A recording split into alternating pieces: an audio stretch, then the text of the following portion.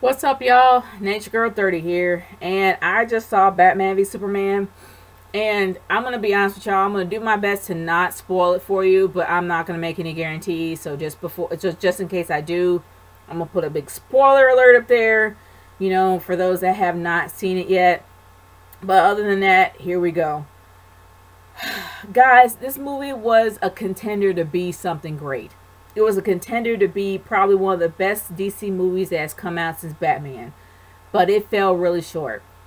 The main problem is is the editing. The editing was all over the place. You had no idea where you were. You had no idea what was going on. You were extremely confused. You would always make assumptions and then in the very end you would still be wrong.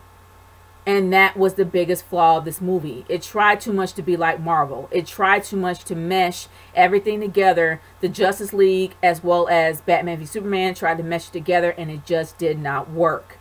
And they need to develop their own identity instead of copying Marvel because it just did not work out. But other than that, I will give you some some good things about it. When it comes to Ben Affleck being Batman, he was spot on and he was amazing. He was actually the guy that stole the show this was more of a movie about him, the Superman. Even though it was pretty much giving you an idea on what would happen at what happened after Man of Steel, it still was more about what Batman was going through, more on a humane level.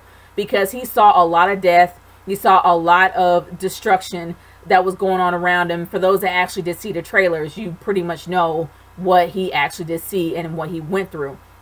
And also, speaking of trailers, everything that you have seen in the trailers, unfortunately, you will see in this movie. There's not going to be a lot of surprises, but there will be some.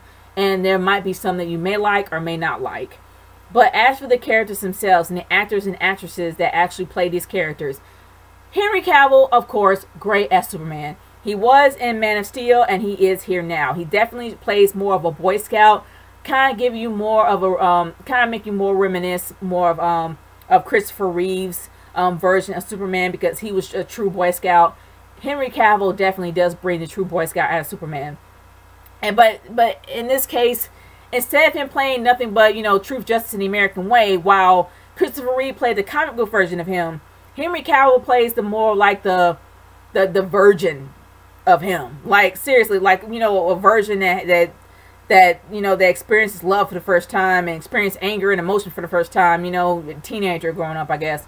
But he's he, he's more still experiencing his emotions what they all mean he's like a young child. And i guess that's where you can probably say it like that. He's more like a young child or adolescent that's growing up and starting to learn more about himself and learning what he's done. And i mean and, and that character henry cavill does literally encapture what superman is supposed to be. And him and, and also more of a humane version of him too. As for ben affleck Ben Affleck, by far, is one of the best Batmans I have ever seen in my entire life. He was able to not only pull off Bruce Wayne in a very great way, in a very um, humane, not really humane, but more of a realistic way of Bruce Wayne. He was also able to pull off a very dark Batman, a true Batman, in my opinion. And he did a great job doing it. I enjoyed seeing him on my screen. I enjoyed the battle scenes that he was in. I even enjoyed the bat armor. I loved everything about Ben Affleck. And also, there was a lot of scenes in this movie that we did not know that he was going through. They didn't really dive into it in detail, but you can get an idea that something really bad happened to this guy. Really, really bad happened to Bruce Wayne. But and for those that do know the lore, you know what happened to his parents, but it's a lot more than that. And that's what I enjoy about this movie is seeing his character evolve um, from being going from dark to darker and then pretty much, you know, changing in the very end. But then moving from Batman, let's talk about Gal Gadot. Gal Gadot as Diana Prince slash Wonder Woman was awesome. Even though her cameos in this movie was extremely brief, it was enough to still get you hyped up for the standalone. And they did a good job with that there. And I enjoyed seeing her on my screen. She did have a bit of an accent, but her accent really did bring a, a really nice touch to Wonder Woman. I'm just saying, I enjoyed it. And she was great as as um, Diana Prince, even though we didn't really know her name throughout the entire movie. They pretty much kind of gave it up at the very end, like her last name. But honestly, she was awesome. She really, really was. I enjoyed her. But let's get into the characters I did not like. Now, for those that do know me, you know I'm not a big fan of Lois Lane. I will never be a fan of Lois Lane's. And you guys know how I feel personally about her. But I will say this. She did have a significance in Man of Steel.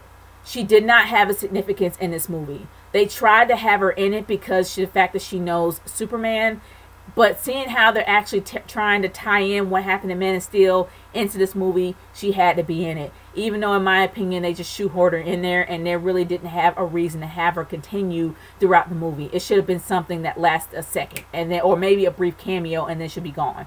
But they had her throughout the movie, and it made no sense to me. And then let's talk about Jesse Eisenberg as Lex Luthor. Okay, if you took the Scarecrow from Batman Begins, and then you take the Riddler for um for Batman Forever, and then you also take the Joker from The Dark Knight and mesh it all together, you get Lex Luthor. Not a big fan. Lex Luthor is more of a psychopath than he was a megalomaniac, and I enjoyed the Lex Luthor of not only the um, the anime series. I also enjoyed him as the comics and also in the movies because he had charisma, he had flair. People liked him even though he was crazy.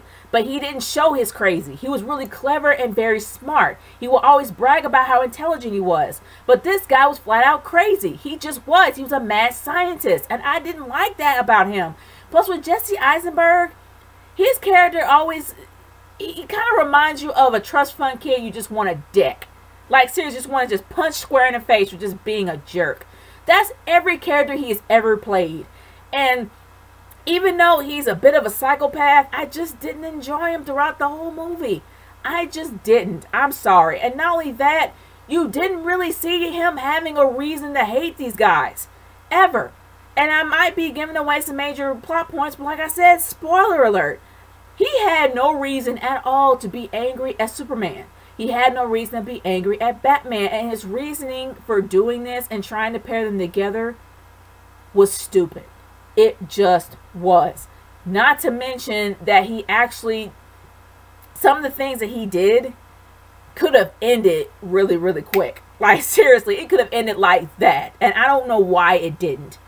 But other than that, the finale, like I said, for those that have seen the trailers, it's exactly like the trailers.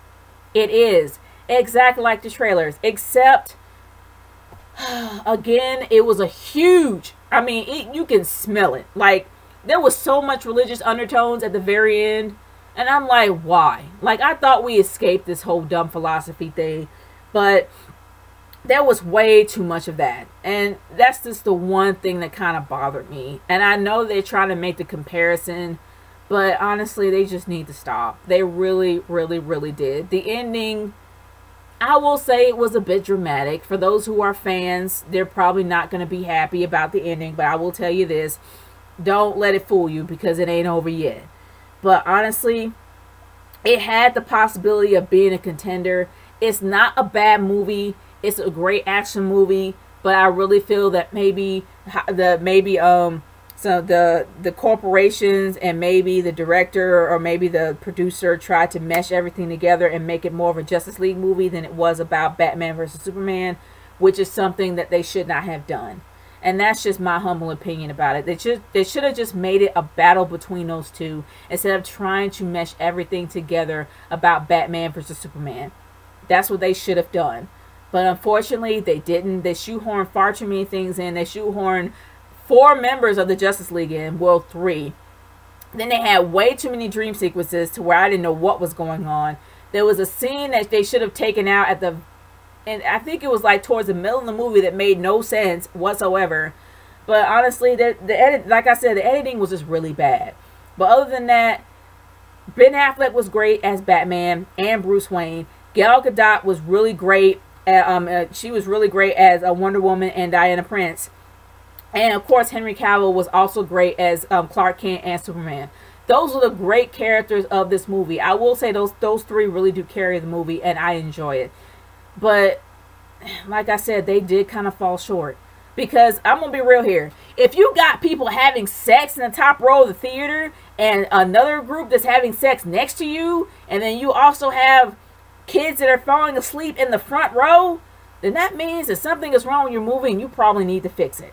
But guys, I want to hear your thoughts about Batman vs Superman. Leave a comment in the comment section below. What was your favorite part of it? What was your least favorite part? I am curious to hear y'all's thoughts. Nature Girl 30 signing off. Peace out, y'all.